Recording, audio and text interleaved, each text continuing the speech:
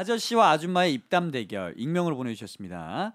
장날이라 시장에 갔어요. 남편 일할 때 막 입을 작업복을 사려고 옷들을 산더미처럼 쌓아두고 파는 곳으로 갔죠. 옷들을 헤집으며 남편 사이즈에 맞는 옷을 고르고 있는데 제 옆에서 다른 아주머니 한 분도 저와 경쟁하듯 이 옷 저 옷을 뒤적이며 고르시더라고요. 그러다가 옷 하나를 고르더니 주인 아저씨께 들어 보이면서 아저씨 이거 이거 저 이건 얼마예요? 하고 물으셨고 아저씨는 능청스럽게 5천만 원이요. 라고 하셨어요. 그런 아저씨들 있어요. 네. 아저씨, 근데 이거 작구가 뻑뻑한데 갖고 갔다가 금방 고장 나면 어떡해요? 아주머니가 물으시자 아저씨는 세상 쿨한 말투로 바꾸러 와요. 와서 바꿔가면 되죠. 이러시더니 갑자기 흥얼흥얼 옷도 고장 나면 바꿔가면 되고 남편도 고장 나면 바꿔가면 되고 맘에 안 들면 다 바꿔가셔요. 그러자 아주머니가 아니 고장난 남편은 뭘로 바꿔준대? 그러면 좀 뭐 아저씨로 바꿔주나? 이러셨고 아저씨는 역시나 노래로 받아치셨습니다. 나로 바꿔가도 되는데 나도 고장이 났어요. 그거는 책임을 못 져요. 아저씨 승! 나도 고장 났는데. 제목 유명한 영정 사진관입니다. 예. 어, 보내신 분은 유찬수님이고요. 예. 일단 스님이요? 아 유찬수님이요. 수님. 아 이거 또 들으신 대로 하시는 거예요? 후 아니 두려. 유찬 스님 그래갖고 스님이 보내셨네요. 그래. 아, 스님. 요즘 유, 유지 스님이 막 날리고 그래요. 진짜 그렇게 들린다. 그러니까 이제 예. 어. 유찬수님. 예. 아 순님이세요, 예. 유찬순. 아. 어, 요즘 제 주위 지인들이 하나둘씩 영정 사진을 찍더라고요. 음, 나중에 자식들이 볼 텐데 파파 할머니 되기 전에 예쁘게 잘 찍어야 된다면서 밝게 씩 웃으면서 찍어야 한대요. 그래, 미리미리 찍는 거 이렇게. 그러면서 친구가 영정 사진 잘 찍는 곳을 소개해 줬어요. 정말 유명하긴 유명한가 봐요. 원래 제가 사진만 찍으면 표정이 딱딱하게 굳는데 정말 환하게 웃으면서 나왔더라고요. 근데 이 사진을 보고 남편이 아이 웬일로 이렇게 사진이 잘 나왔대 비법이라도 있나 이러길래 한마디 해줬어요. 응 사진사가 그러더라고 남편보다 20년은 더 사신다 생각하세요 라고 절로 웃음이 나오는 거야. 빵끝 각. 야. 아 그럼 아 이거 저절로 이렇게.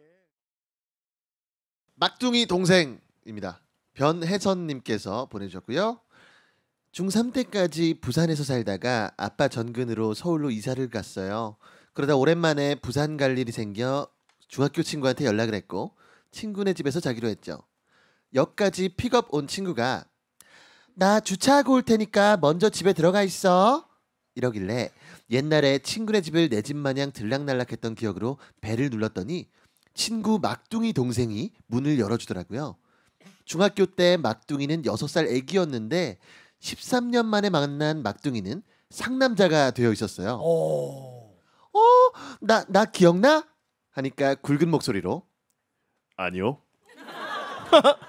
이러는데 어 자식 이제 다 컸다고 내외하는 건가? 크크크 어른인 척하는 게 너무 귀여워서 오구 이러면서 궁디팡팡 했더니 아이 왜 그러세요? 이러면서 부끄러워하는 거예요. 야 어렸을 때 홀딱 벗고 같이 수영도 하고 목욕도 했으면서 뭘 부끄러워해? 이러면서 얼굴이 시뻘개진 막둥이 볼을 꼬집으며 끌고 집에 들어가려는데 때마침 엘리베이터가 열리더라고요. 주차를 끝내고 돌아온 친구가 어, 저희를 보고 이랬어요. 어? 삼촌 집에 있었어?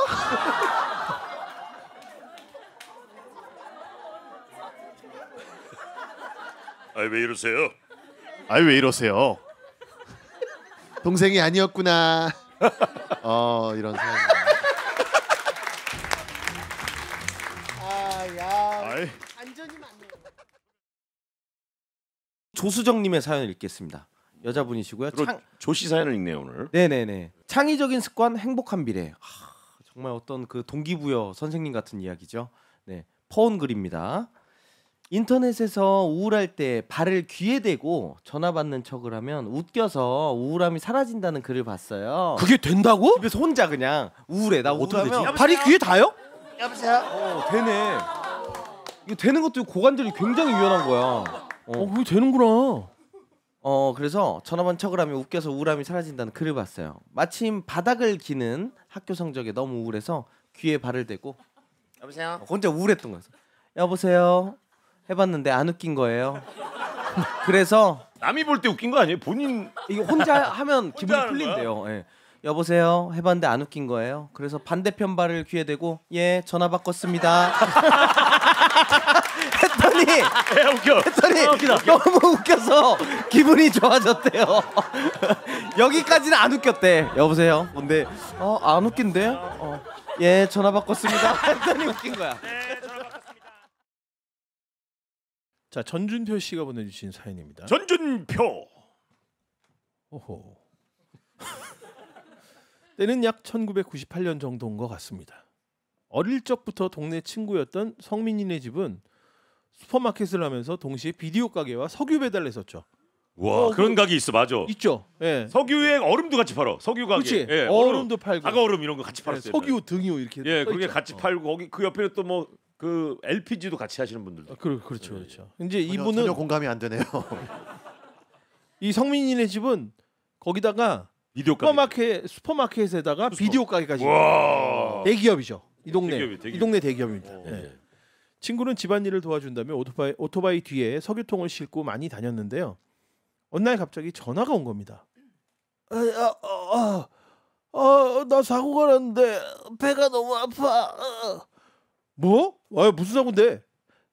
택시 택, 택시에 막았는데 어. 배, 아, 내 배. 아. 이런 친구가 오토바이를 타고 석유 배달을 하다가 사고가 난 거예요. 사고가 났으면 병원부터 갔어야 됐는데 너무 경황이 없고 창피하기도 하고 그때까지는 아무것도 몰라서 그냥 왔다가 뒤늦게 아프기 시작한 거죠. 이왜왜그 어렸을 때는 오토바이 타고 가다 넘어지면 이게 창피하거든. 그렇죠, 그렇죠. 그래서 아픈데도 그냥 빨리 일어나고 싶고 막 그러잖아요. 왜 여자분들도 횡단보도에서 심하게 넘어졌는데 막 일어나지. 미친 듯이 일어나서 막 가시잖아요. 이다 창피해서. 어, 응, 그렇잖아요. 창피해서 그런 거.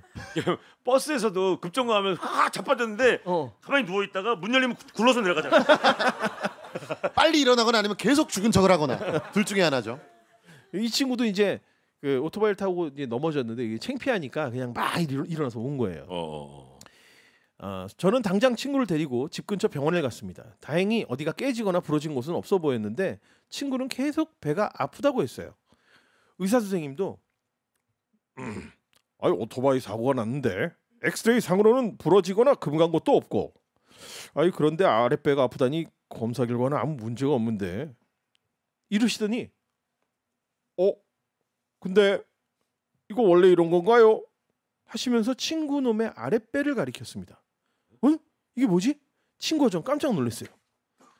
친구 아랫배 배꼽 아래쪽에 뭔가 불룩하게 튀어나와 있는 겁니다. 어허. 아래 아랫배 배꼽 아래쪽에. 배꼽 아래쪽에. 어. 이거 아무래도 큰 병원 가서 검사를 받아보는 게 어, 좋겠어요. 어, 어, 그래. 의사 선생님은 소견서를 써주셨고 저는 친구와 바로 옆에 있는 고대병원으로 급하게 달려갔습니다. 고대병원 선생님은 친구를 이리저리 진료하시더니 말씀하셨어요. 내가 의사 생활 30년 만에 이런 경우는 처음 봅니다.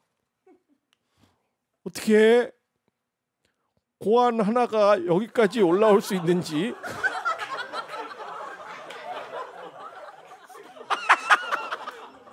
아 사고가 나면서 올라왔나? 어, 어떻게 올라가지? 아랫배까지? 팅 쳤겠지. 아니 근데 그렇다고 어떻게 올라 아랫배까지 올라가죠? 어머머머머. 와 컬투쇼 사연에도 19년 역사상에 고환 상승 사연은 처음이에요. 아니 이제 같은 남자 입장에서 얼마나 아프고 이거는 황당하고 어우 이 말만 들어도 알죠. 지금 황당하고. 고- 고 통을 느낄 수 아. 있죠. 네, 느낄 수 있죠. 왜 우리 그 뭐 격투기 선수들을 보다가 사고 딱 나면 인상을 쓰잖아요. 남자분들은 다. 하다못해 야구에서 포수가 이렇게 공이 튀겨서 딱 맞았을 때 오! 얼마나 괴로워해요. 어 괴롭죠. 어, 네 불룩하게 나와 있던 건 그 녀석의 불알이었어요. 고환. 여기 그렇게 써 있습니다. 예, 그러니까요. 예, 이건 우리 말이 아마 불알일 거예요. 예. Fireball이라고 써 있어요. 예. 뭐. 택시에 부딪히고 몸이 붕 떠오르는 과정에서 뭔가에 부딪히면서 아 그 충격으로 급작스럽게 위로 딸려 올라간 거였죠. 어머. 어쩐지 기름통이 움푹 들어가 있더라니. 기름통이 받았나. 봐. 아하. 그럼 어떻게 해야 되죠? 올라왔으니까 내려야죠. 의사 선생님은 이러시더니 비닐 장갑을 끼시고 초음파 할 때 바르는 미끈한 것을 손에 쫙 짜서 배에다 문질문질 하시더니 손가락으로 꾹 누르면서 아래로 밀어 내리시더라고요. 그럼 그렇게 내려가는 거야 그게? 예, 친구가 오오오오오오 친구는 신기함과 아픔, 아픔이 섞인 소리를 계속 냈고 전 웃음을 참느라 참느라고 죽을 뻔했고 그러면서 친구의 불알은 다시 제자리를 찾았습니다. 와. 20년이 지난 지금 아무렇지도 않나? 결혼해서 아들을 셋씩이나 낳고 잘 사는 오! 거예요. 어, 불알이 업그레이드 됐나 봐.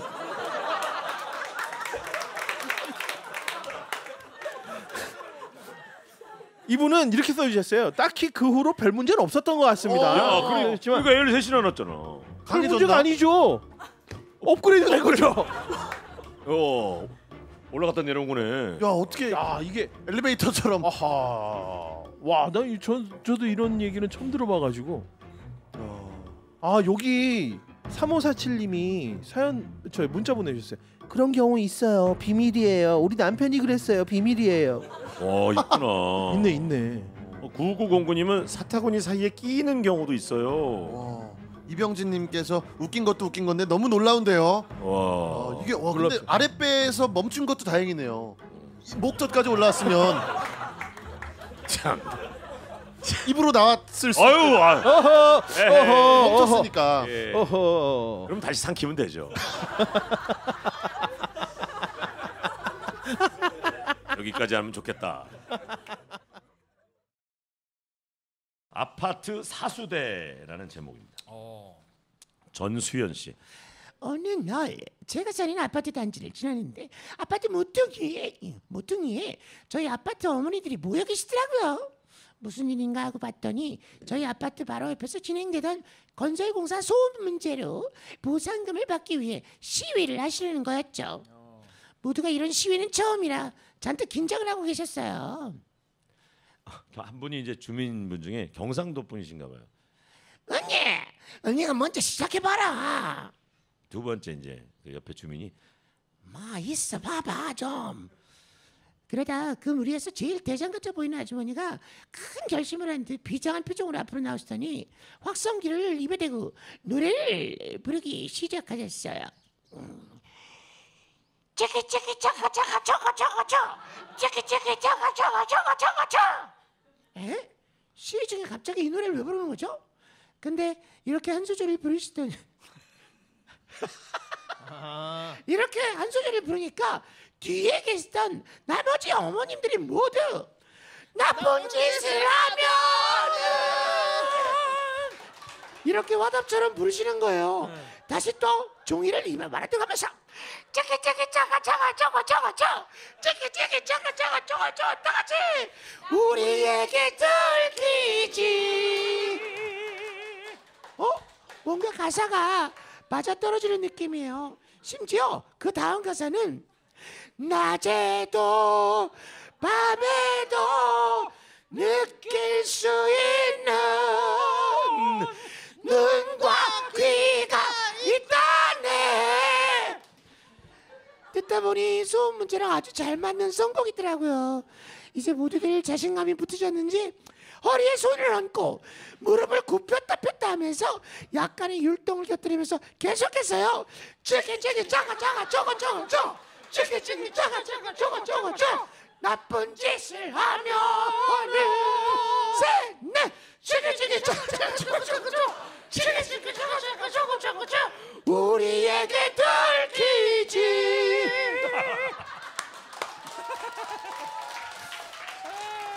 야 노래하는 어머님들 이 와중에 아파트 공사장 아저씨 한 분이 하던 일을 멈추시길래 헉 한 소리 하시려는 건가 하고 걱정하고 있는데 앞에 오셔서 박수로 박자를 맞춰주고 계시더래요. 어머님들은 점점 신나셨고요. 점점 무대를 즐기고 계셨어요. 무더운 여름날 현장에서 일하시는 분들을 위한 위문 공연이 되어가고 있었죠. 나중에 아파트 엘리베이터 게시판을 보니 보상금을 받으셨더라고요. 다 그 어머니들 덕분이겠죠. 아, 아 너무 웃긴다. 야. 아, 진짜 머리 좋다. 장미환님이 보내주셨고요. 뜻밖의 자백. 지난 토요일 회사에 급한 업무가 남았다며 남편이 새벽같이 출근을 했어요. 뭔 놈의 회사가 쉬는 날도 없이 일을 시키노. 끝날 때 연락해래 저녁 차적으로 하고 출근을 시켰죠. 슬슬 끝나갈 시간이 되는데도 연락이 없길래 마친나 하고 문자를 보냈습니다. 어, 그리고는 살짝 문자 보낸 걸 읽, 읽고는 아래층 엄마랑 수다 삼매경을 빠졌다가 한참 있다 폰을 확인했는데 남편에게서 온톡에 수십 건의 아, 온톡이 수십 건의 부재중 전화도 엄청 와 있더라고요. 남 어, 전화를 거니 통화 중이길래 우선 톡부터 확인했습니다. 뭔 일 있나? 와 또 와. 뭔데? 뭐 와 그러는데? 일하는 사람한테 그게 할 소리가? 처음에는 화를 내듯 화를 내는 듯 하더니 와 대답을 안 하노. 혹시 그게 이렇게 갑자기 분위기가 바뀌더군요. 그러더니 베란다의 구석에 있는 그 낚싯대 봤나? 그 비싼 거 아이디 진짜다 세일할 때 산기다. 사진 납세했구나. 갑자기 털어놓기 시작한 남편. 와 대답도 안 하고 전화도 안 받노 무섭구로. 낚싯대 아이가? 혹시 신발장 그 등산화 밑창에 그 너도 비상금 그거가? 혹그 내 거 아이디? 당신 줄기다. 처음부터 그럴라고 모은 기다. 점점점. 미아데이. 진짜 한 번만 봐도. 난안 할락했는데 용마이가 배랑 다 연락해놨다 해가지고 무조건 가야 된다 하길래 마음 같아서는 당장 집으로 쫓아가고 싶은데 내일 오후나 대, 대학 갈 것 같은데 근데 내 낚시 연구 왜 알았노?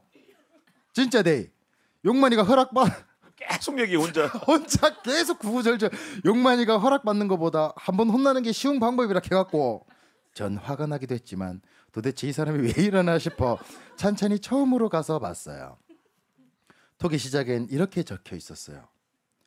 미친나, 니 미친나. 마천나를 저만 나를 뺐더니 이렇게 술술 불어대네요. 혼자 안달난 남편의 뜻밖의 자백에 아. 당분간은 큰 소리 좀 치고 살 듯요. 아. 그러니까 문자를 맞췄나 해야 되는데. 그냥 뭐 끝났어 이런 식으로 이제 보낸 건데 그걸 이제 미쳤나로 이제 어, 뭐. 보냈으니까 예, 그렇지. 뭐지? 뭐 때문에 그런 거지? 뭐 이렇게 생각을 된다한 거 혼자. 어, 어. 그러니까 문자를 보냈는데 뭔데 와 이러면은 답장이 와야 되는데 안 보내니까 그러니까 계속 구구절절 자기가 이렇게. 아이고. 아하. 익명입니다. 오랜만이네요. 제목은 사투리. 아들 제 전공이 나왔네요. 서울에서 태어나 중학교까지 줄곧 서울에서 살다가 고등학교 입학을 앞두고 있는 시점에서 갑자기 아버지가 강릉으로 직장 방령이 나면서 전학을 가게 됐습니다. 친구들에게 이 소식을 전했더니 야, 야 강릉 사람들은 바닷바람을 맞고 살아서 그런가 엄청 드셀 걸 가서 조심해야 돼.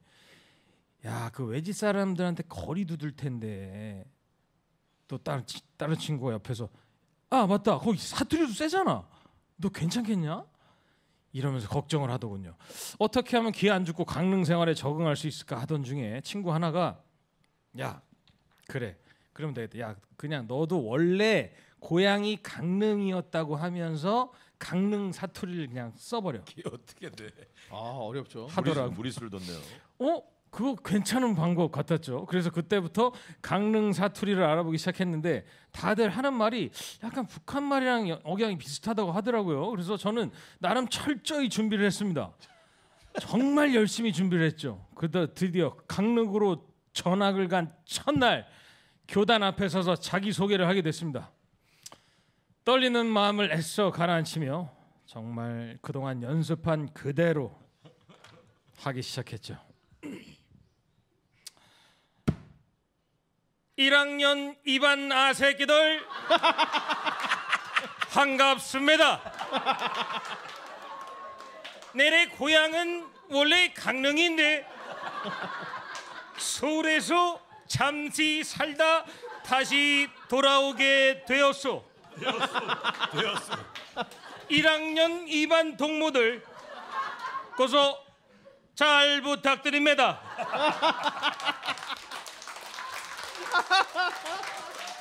일순간 교실 분위기는 급격하게 얼어붙기 시작했고 쉬는 시간이 되자 친구들이 와서 조심스럽게 말을 걸었죠.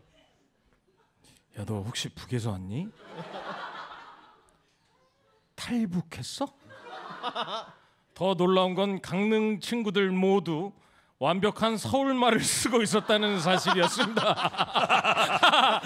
알고 보니 이젠 토박이 어르신들 빼고는 대부분 다 표준어를 쓴다고 하더라고요. 정말 창피했습니다.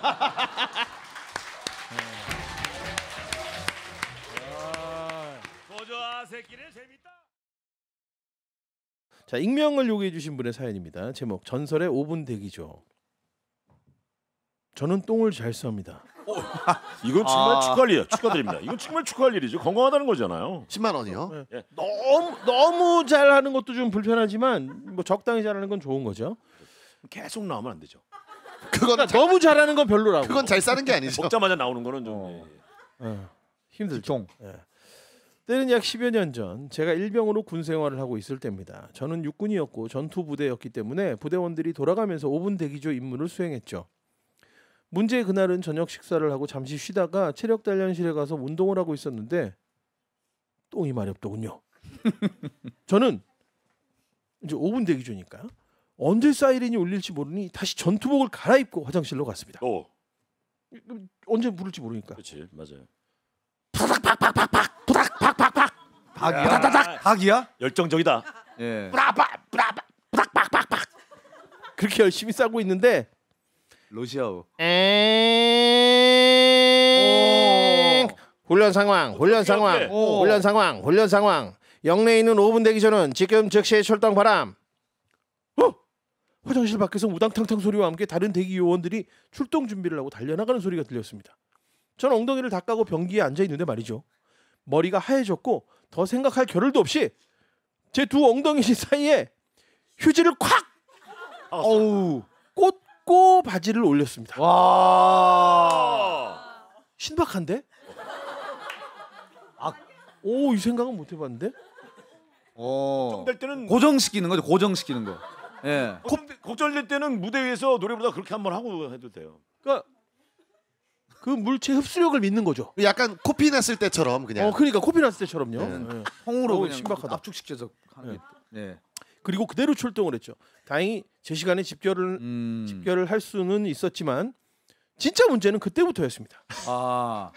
대부분 훈련 상황 출동 시에는 육군 트럭 앞에 집결해서 각자의 임무에 대한 브리핑만, 브리핑만 간단히 하고 다시 복귀했었는데 그날따라 영내 수색 훈련까지 시키더라고요. 처음엔 괜찮았는데 수색. 휴지로 꽂아둔 그곳이 어허. 점점 가려워지더군요. 어허. 아. 많은 고민과 유혹이 있었어요. 확인하고 싶어. 집안 사연이네. 살짝만 긁을까? 아우 살짝만 긁어볼까? 아니야 그럼 묻을 거야. 모서리 찾아야죠. 하지만 시간이 가서 모서리 모서리 눌러줘야 돼. 모서리 찾아갖고 예, 예. 눌러줘야 돼. 죽는 척하고. 하지만 시간이 갈수록 너무 너무 가려워져서 어쩔 수 없이 선임분께 조심스럽게 보고했습니다. 보, 보고해야죠. 보고해야죠. 어. 조심 조심스럽게 보고하는 거예요. 저 김상병님, 제가 볼일 보는 중에 사이렌이 울려서 휴지로 대충 맞고 나왔는데 너무 가렵습니다. 아, 지- 진짜 제대로 보고 있네. 그대로. 빨리 화장실 가서 뒤처리만 하고 와도 되겠습니까? 그러자 선임분께서 뭐 잠깐 기다려봐 하시더니 소대장님께 보고를 하더군요. 어. 어, 위로 올라가는구나. 보고책. 군대는 보고책이니까. 보고책이니까. 그럼 정확하게 보고해야 되거든요. 예. 소대장님 땡땡땡 일병이 똥 싸러 갔다가 사이렌이 울려서 출동했다는데 잠시 화장실 좀 보내도 되겠습니까? 그러자 소대장님께서 뭐? 잠깐 기다려봐 하시더니 야, 이 부대가 확실한 부대네. 이거 보고가. 당직 사관님께 보고를 하더군요. 이러다 기사 뜨겠어. 예. 정보과장님 저희 요원 중 한 명이 큰일 보러 화장실 갔다가 사이렌이 울려서 볼일을 못 보고 출동했다고 하는데 복귀시켜도 되겠습니까? 그러자 당직 사관님이 뭐? 그럼 얼른 보내야지 뭐 하고 있어 어디서부터 잘못된 걸까요? 저는 분명 똥은 다 쌌고 급하게 출동하느라 뒤처리를 미처 못해 가려웠을 뿐이고 마무리만 하고 싶었을 뿐이었는데 저도 모르는 새에 투철한 군인 정신으로 생리 현상을 이겨낸 참군인이 되어 있었습니다. 이후 소대장님과 중대장님이 병사들에게 5분 대기조 교육을 시킬, 시키실 때마다 좋은 예시로 항상 말씀하셨고 전 그 일로 전, 전설의 5분 대기조가 되어 전설의 오분. 포상 휴가도 받았습니다. 야, 아, 오. 한번 똥막음으로. 네. 야, 똥막으로 인해서. 아, 야, 그럼 포상휴가 나오고 야, 야 대단하네. 대단하다. 전설의 오물대기죠. 예.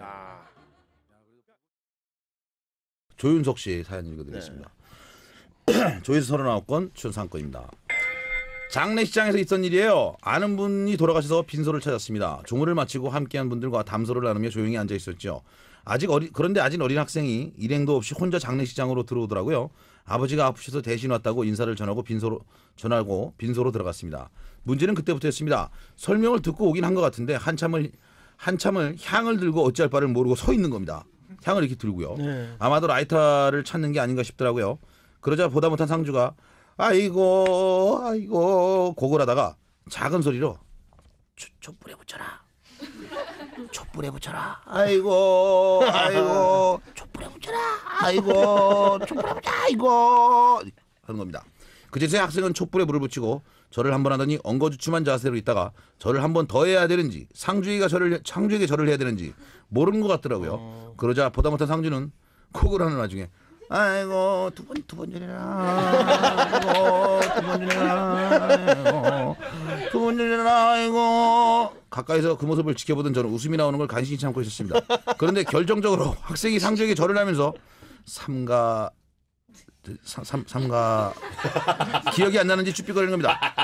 그러자 상주는 아이고 됐다 아이고 됐다 아이고 됐다 됐다 됐다 아이고 이 뜻은 충분히 알겠다. 됐다 아이고. 주위에 있던 상주를 포함한 빈소를 모든 사람들이 장례식장에 박장대 들어가 말았습니다.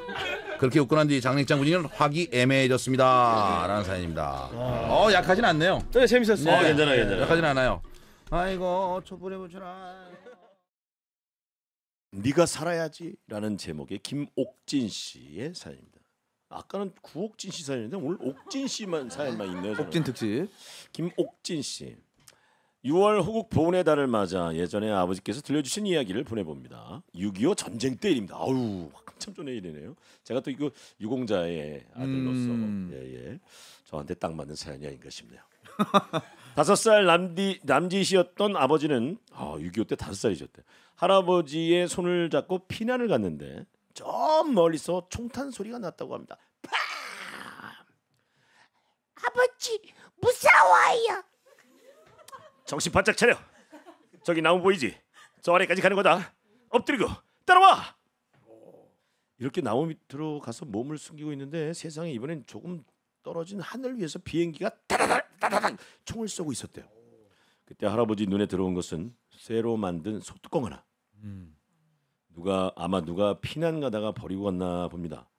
할아버지는 얼른 그걸 주워 본인 머리에 얹어 막았습니다. 잠시 후 총소리가 그쳤고 그제서야 정신을 차린 할아버지. 이런 내가 무슨 짓을 한 거지? 나 하나 살아보겠다고. 그래 내가 아니라 네가 살아야지. 우리 집 장손인데. 이러면서 할아버지는 소뚜껑을 아버지 머리에 얹어 주셨어요. 아버지 무거워요. 지금은 총소리가 안 나요. 뭐 있어? 네가 살아야지. 우리 집 장손인데. 그때 또 비행기가 날아와 따다다다 따다다다 총을 쏴댔고 할아버지는 재빨리 어이쿠 하시며 아버지 머리 위에 얹어 놓은 소뚜껑을 도로 자기 머리에 가지고 가서 또 얹으셨어요. 아이고 어. 그러다 또 총소리가 안 나면 그래 아니다 네가 살아야지 우리 집 장손인데 악당 아닙니까? 하고 아들 머리 위에 얹어놓고 또 다시 따다다다 하면 아이고 하고 얼른 본인 위에 올려놓고 세월이 흘러 그때 얘기를 꺼내면 할아버지는 면목이 없다. 그때 나도 무서웠단다. 미안다. 그렇게 얘기를 하셨답니다. 아. 아 또 인정하니까 어, 인간, 또. 할 방법이 없네요. 방구 금지령입니다. 안녕하세요. 결혼 4년차 세댁이에요. 저희. 연애 초반부터 지금까지 방구며 트림이며 대놓고는 못 텄어요. 아, 아 못했어. 그러나 하루는 그날은 하루 종일 남편이랑 같이 있던 날이었는데 배에 가스가 얼마나 차던지 그래도 남편에겐 안 들리게 몰래 방구를 뿡뿡 껴가며 잘 피해 다녔죠. 그러곤 잠을 잤는데 꿈을 꾼 거예요. 흑백 시골 배경이었고 큰 현수막에 전국 방구 금지령이라고 흙에, 흙에 적혀 있었어요. 머리에 하얀 띠를 두른 관계자 같은 분들이 몽둥이를 들고 다니며 방구를 방구를 끼고 때리는 거야. 네, 꿈에서 꿈에서 지나가는 시민들에게 곧 방구 금지령이 내립니다. 그러니 늦기 전에 지금 빨리 끄세요. 다시 한번 알립니다. 방구 금지가 됩니다. 지금 빨리 끄세요. 이러면서 돌아다니더라고요. 저는 이게 무슨 소리냐 싶다가 어, 그렇다면 지금 빨리 끼워야겠다며 줄을 서서 방구 낄 순서를 기다렸어요. 줄 아. 왜, 아, 저기요. 거기 새치기 하지 마세요. 이, 아 이번이 제 차례라고요. 아이 안 돼요. 나올 것 같아요. 아! 사방은 아수라장. 저 멀리에선 마치 대포 쏘는 소리 마냥 빵뻥 피용하는 방구 소리가 메리처럼 들려왔어요. 그러다 곧 제 차례가 되었고 두 번 다신 방귀를 못 낀다는 절망감에 정말 있는 힘껏 온 기운을 모아서 빡 꼈어요. 그렇게 제 가스가 힘차게 방출됨과 동시에 전 잠에서 깼고 이미 침대에 느껴지는 핵폭탄급의 진동 아하. 그리고 방구 소리에 놀래서 깬 신랑의 신기한 표정. 얼마나 힘차게 꼈는지 똥꼬랑 배가 아리더라고요. 아 방구 금지령이 내립니다. 지금 빨리 끼세요. 이게 이제 신체 상황에 맞게 꿈이 꾸어지는 거야. 그렇죠. 껴, 어, 끼고 싶을 때. 자 박태열 씨의 사연 소개해 드리겠습니다. 제목이 억울한 사연이에요. 뭐 이렇게 억울할까? 때는 30여 년 전 제가 국민학교 1학년 때 일입니다. 30년 전이면 초등학교가 아니었죠. 그때 국민학교라고 불렀죠. 국민학교. 맞나요? 국민학교. 30년 전이면 어 국민학교 그랬나? 1학년 때 일이었어요. 동네에서 여느 때와 같이 친구들과 놀고 있었는데 평소 같이 놀던 형들의 어머니와 형들 둘이 지나가고 있었습니다. 형 어디가? 하고 쫓아가 보니 아주머니가 아이고 잘 됐다 너도 같이 가자 하면서 저와 같이 놀던 친구 두 명을 같이 데려가시더라고요. 도착한 곳은 동네 목욕탕. 아주머니께서는 남자 다섯 아이를 목욕탕에 들여보내고는 깨끗이 씻고 나오라고 했습니다. 당시 동네 목욕탕은 저희들한테는 거의 수영장과 같은 곳이었죠.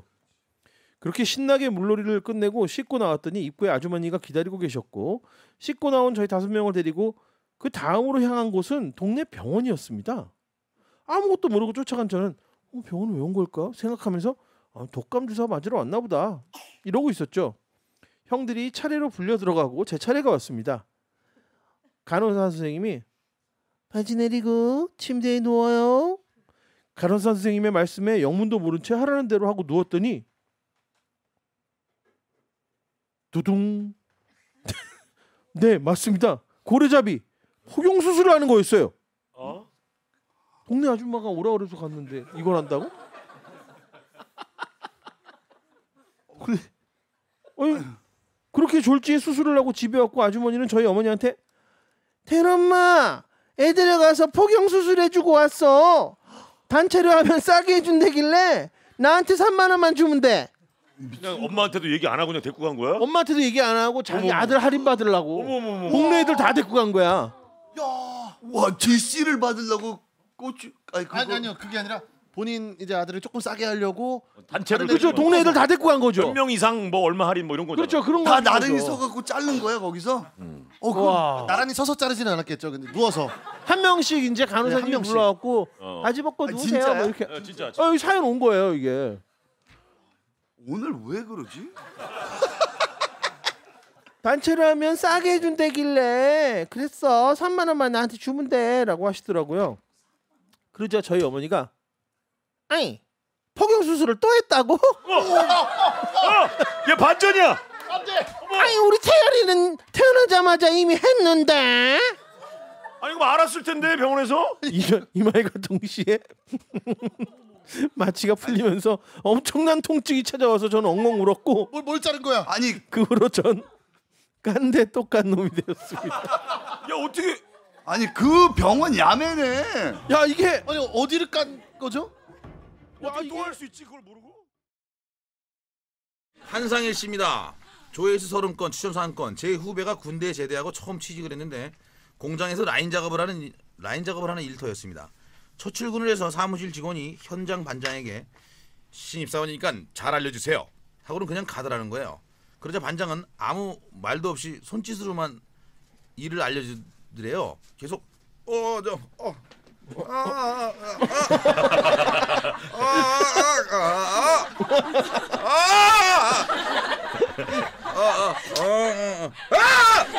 그래서 손 하면서 손짓 손짓으로만 알려주셔야 됩니다.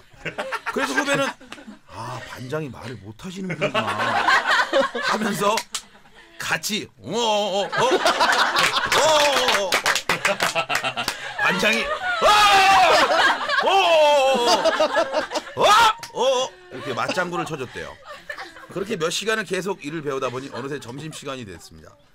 그러자 계속 어어어 어, 하면서 일을 가르쳐 주던 반장이 시간을 둘이서 반장이 벌떡 일어나더니 공장 사람들 향해 밥 먹고 갑시다 하더래요.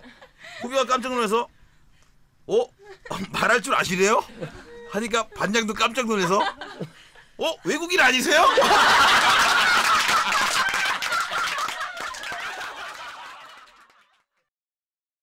너희들 오늘이 무슨 날인지는 알고 컬투쇼 듣고 있냐? 오 이거 뭐야? 라는 제목이에요? 제목 제목입니다. 오. 야, 굉장히 호전적인 제목인데요. 익명으로 보내주셨고요.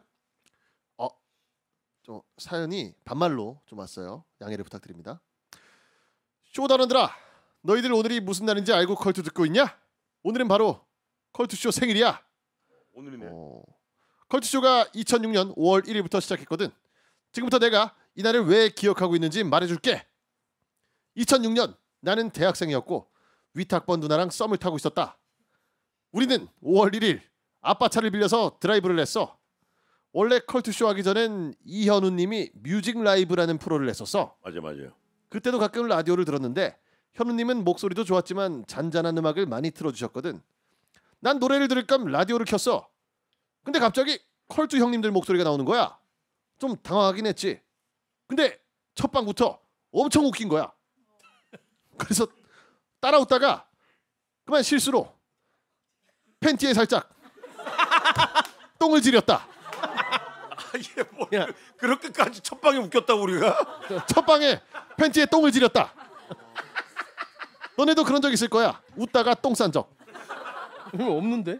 결국 썸 타던 누나한테 들켜서 누나 방에 가서 팬티를 빨고 씻었는데 그게 인연이 되어서 결혼까지 했다.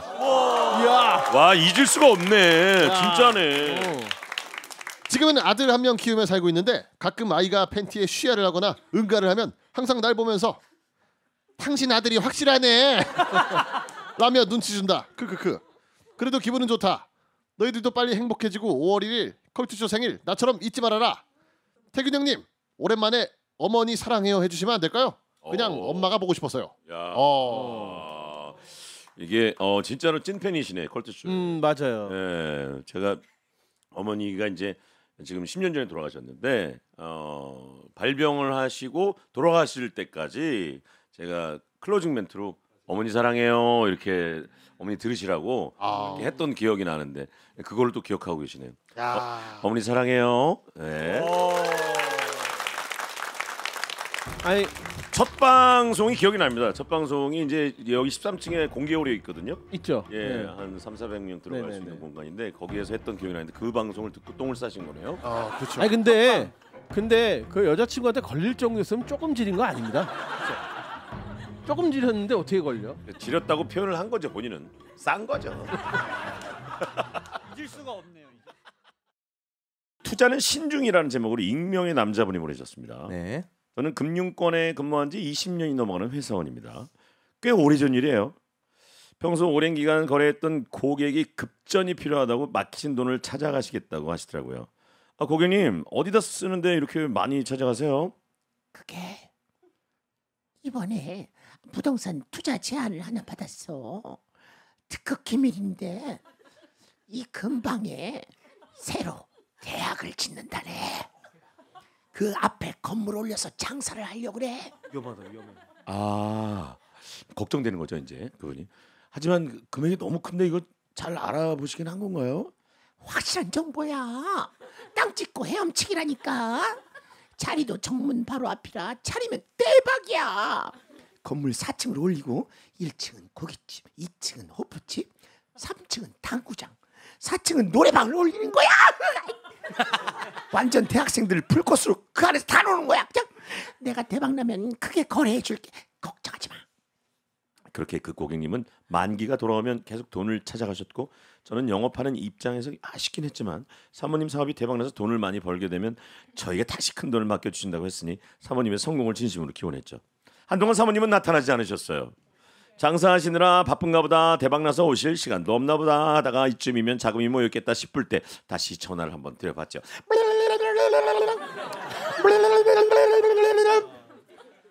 여보세요. 사모님 목소리가 그리 좋지 않았습니다. 아 안녕하세요. 저 땡땡금융 김대리인데요. 어, 아유 그래 그래 오랜만이네. 잘 지내셨죠? 장사 대박 나셨죠? 이번에 금리 좋은 상품이 나와서요. 이참에 맡기시면 장사 접었어. 전 최대한 조심스레 물었습니다. 예?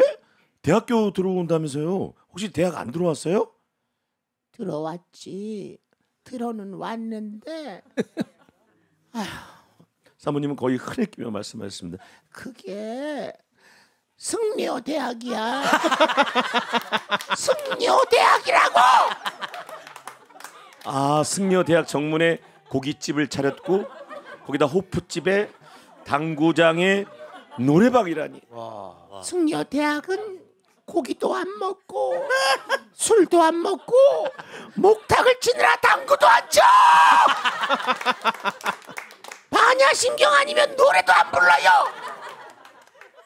그 후로도 사모님은 거리는 없으셨고 저는 차마 연락도 드릴 수가 없었죠. 다른 분들도 항상 투자에 신중하시길 바랍니다. 네. 야 이게 근데 조금 기다리시면 뉴진 스님이 활약을 조금 더 하시면. 자 이호영 씨가 보내주신 사연입니다. 최근에 친정 아버지가 수술을 받으셨어요. 그래서 남편과 아이들을 데리고 입원하신 병원을 찾아갔죠. 아빠, 괜찮아요? 많이 아프진 않죠? 그러자 아빠는 아프다. 많이 아파. 이러시면서 내가 이번에 아프면서 느낀 게 너무 많다. 심각하게 말씀을 이어가시더라고요. 내가 아파 보니까 혹시라도 나중에 더 심하게 아파서 호흡기까지 쓰고 그래야 될 정도면은 그때는 연명 치료 같은 거 하고 싶지가 않아. 어이 진지하시네. 아, 아빠 무슨 소리야? 그런 말 하지 마. 하지만 아빠는 계속 아니야, 아니야, 아니야. 고통을 계속 가져가는 거는 나한테도 너희들한테도 하나도 도움이 안 돼요. 나는 절대로 연명 치료 안 한다. 너희들도 명심해라. 응? 이러시면서 눈물까지 그렁그렁 하시는 거예요. 손 손자들이 손자 옆에 있다가 아, 할아버지 울지 마요. 아, 울지 마세요. 우리 딸들까지 울음이 다 터졌고 모두가 숙연해진 그 순간 옆 침대 다른 환자의 보호자에 있는 한 어르신이 옆 침대에 다른 다른 시다가 예. 아이고 웃기고 자빠졌네. 아, 뭔 치질 수술을 하고 연명을 떠들어. 맹장 수술했으면 콕소리 났겠네. 이 말에 아빠는 조용해지셨어요. 원래 저희 아빠가 좀 엄살이 심하고 오바를 하세요. 하.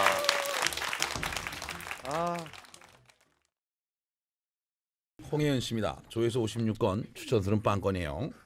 얼마 전에 겪었던 짧고도 강렬한 이야기를 하려고 합니다. 아주 더운 날이었어요. 친구와 저는 가까운 공원에 놀러 갔죠. 나무 그늘에 앉아 있는데 갑자기 어디서 휴대폰 진동 소리가 울리는 겁니다.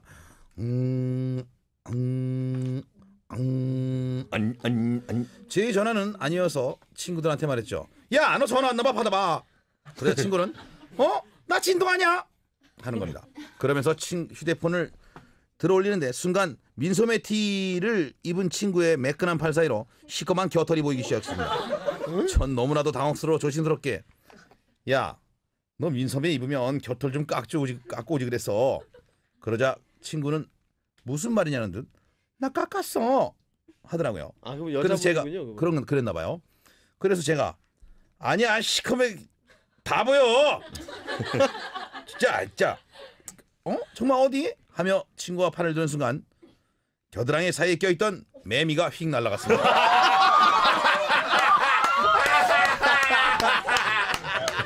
그게 그게 진동 소리 들은 거야. 여기 가려져 있으니까. 가짜 스포를 조심하세요. 라는 음. 글입니다. 어, 여성분께서 보내주셨고요. 요즘 영화 인사이드 아웃 2가 많은 사랑을 받고 있더라고요. 하지만 전 인사이드 아웃 1에 대한 아픈 기억이 있습니다. 때는 인사이드 아웃 1이 개봉한 2015년 친구한테 이 영화를 같이 보러 가자고 했더니 아쉽게도 친구는 이미 봤다고 하더라고요. 그러면서 한마디 덧붙였습니다. 혹시 스포해도 돼? 친구의 반짝이는 눈을 보아하니 굉장한 스포일러 같더라고요. 이거 알고 보면 더 재밌어. 라는 친구의 말에 저는 덥석 미끼를 물었습니다. 아하. 친구는 주변을 두리번거리더니 조심스레 저에게 이야기를 했어요. 거기 빙봉이라는 분홍색 코끼리가 나오거든. 어, 아시죠 다들? 걔가 범인이야. 야 최악이다. 이거는- 최악이다. 이거는 혼란이지 기분. 아 나 너무 싫어. 아. 어? 버, 범인? 인사이드 아웃 힐링 영화 아니야? 범인이 나와? 범인이라기보다는 음, 음, 뭐 악당? 착한 척하는데 알고 보면 어. 뒤에서 나쁜 짓 하는 그런 놈이야. 조심해. 걔가 무슨 말을 해도 절대 믿지 마. 다 얘기한다. 다 얘기. 며칠 후 인사이드 아웃을 보러 간 저는 빙봉 그 자식이 나오는 순간부터 의- 의심하지. 도끼 눈을 뜨고 노래 봤습니다. 저놈이구나. 나쁜 놈. 주인공의 어릴 적 상상 속 친구라는 빙봉은 스포를 알고 봐서 그런지 인상도 안 좋아 보이고 그렇지. 편견 가지거든. 하는 행동 하나하나가 아주 가증스럽더라고요. 즐거운 척 노래하는 것도 춤추는 것도 꼴 보기 싫고 일부러 주인공을 위험에 빠뜨리는 것 같기도 하고 아주 수상했어요. 마지막엔 아주 절벽에서 떨어지면서 모두를 위해 희생하는 척 하더라고요. 어, 기가 막혀서 사람들은 아무것도 모른 채 그 모습을 보고 훌쩍이고 있었어요. 저런 음. 영화는 마지막을 향해 달려가고 있었고 저는 빙봉의 정체가 들어가나 드러나기만을 기다렸어요. 다들 깜짝 놀라겠지? 두근두근. 그런데 엔딩 크레딧이 올라가는 겁니다. 와 최악이다. 와. 뭐? 언, 언제 밝혀져? 쿠키 영상에 나오나라고 생각했지만 영화는 이미 저를 제외한 영화관에 앉아 있는 모든 사람에게 감동을 주고 마무리되었어요. 아, 또 속았다. 와. 생각해보니 저는 몇 달 전 이 친구가 했던 위플래시라는 영화의 스포에 속은 적이 있었어요. 야 그거 주인공이 드럼 치다가 죽어. 아, 아, 그, 야, 그건 스포가 아니잖아. 야, 그거 진짜 저렇게 치다가 죽을 것 같이는 보여. 뭐. 야 그 친구가 악당이네. 그 가짜 스포를 들은 저는 주인공이 드럼을 갈기는 100여 분 동안 지, 지금인가? 지금 지금 죽나? 어? 어 어지러워한다. 지금인가? 라며 어, 지루한다. 조마조마했었답니다. 어, 주인공은 끝까지 안 죽었고요. 저는 이 이후로 절대 영화 보기 전 스포를 듣지도 보지도 않습니다. 아, 근데 웃기다. 파묘에서 최민식이 범인이라고 해서 또 속았네요. 예. 와. 아 재밌는데요. 야. 네. 가짜 스포. 제목이 한 글자예요. 여자분이 보내주셨고요. 삥. 삥. 오. 삥입니다. 삥.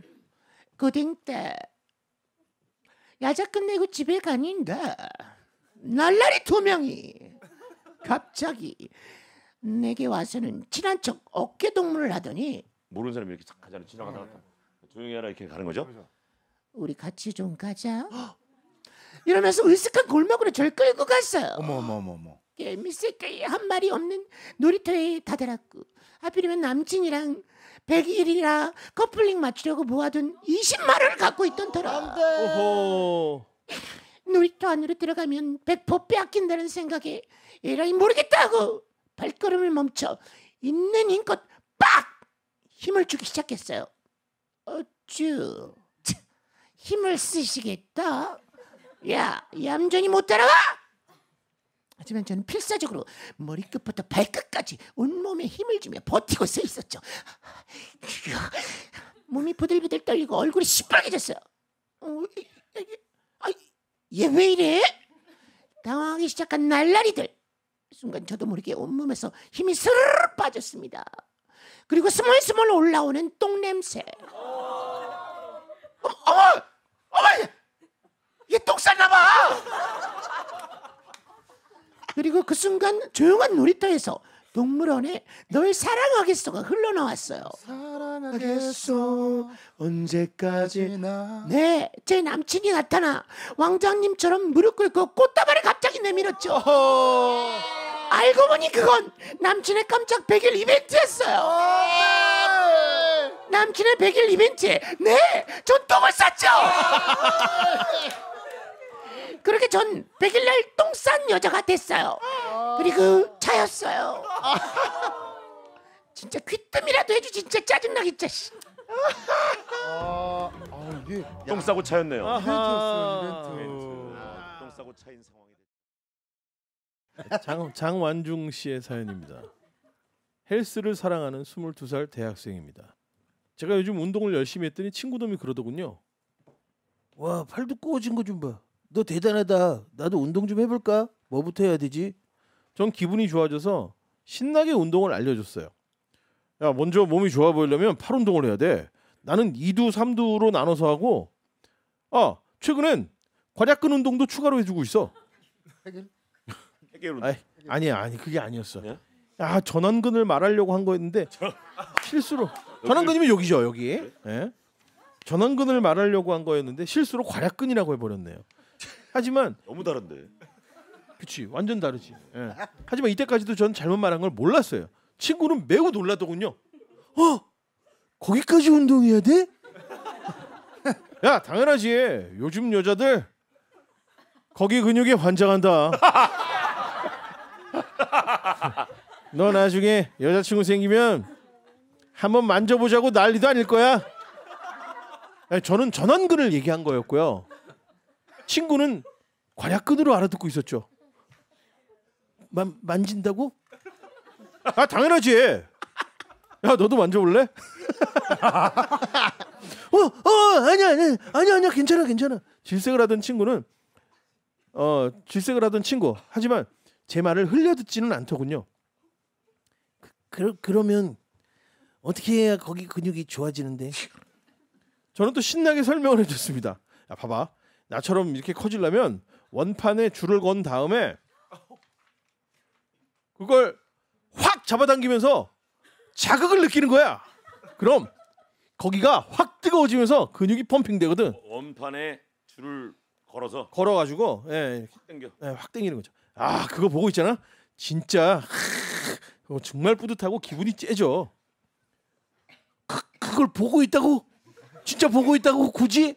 에이 더러운 놈아. 나중에 오해를 풀어서 망정이지 하마터면 친구 하나 잃을 뻔했어요. 아. 오해가 있었어요. 오해가 있었어요. 여유로운 남자와 조급한 여자라는 음, 사연이고요. 김 회장님께서 어. 재밌을 것 같다. 4년차 커플입니다. 제 남친은 평소 헬스를 열심히 해서 몸이 엄청 좋은데 문제는 한쪽 젖꼭지가 유독 튀어나와 있어요. 한쪽이 이거, 이걸 뭐죠? 한쪽만. 이걸 이걸 언밸런스한 찌. 네. 언, 언밸런스하게 유독 튀어나와 있었어요. 저는 그걸 가지고 여유증이라고 놀리면서 맨날 꼬집고 잡아당기고 아 그럼 더 나오는데. 한쪽만 그러죠. 그날도 어김없이 반대 반대쪽으로 해줘야지 이렇게 균형이 맞지. 그러게요. 그날도 어김없이 툭 튀어나온 젖꼭지를 땡기면서 어 여유증이야 여유증 그만 좀 여유 부려 하고 놀리는데 남친이 이러는 거예요. 어 그럼 그럼 넌 왜 항상 조급하냐? 바쁘냐? 너는 여유. 왜 이렇게 여유가 없냐? 어 순수하시다 그분도. 너는 왜 이렇게 조급하? 잠시 정적이 흘렀고 그제야 저는 말뜻을 이해했어요. 어. 제가 좀 작거든요. 아. 어, 여유로운 남자와 조급한 여자 커플입니다. 아. 에라오 에라오 에라오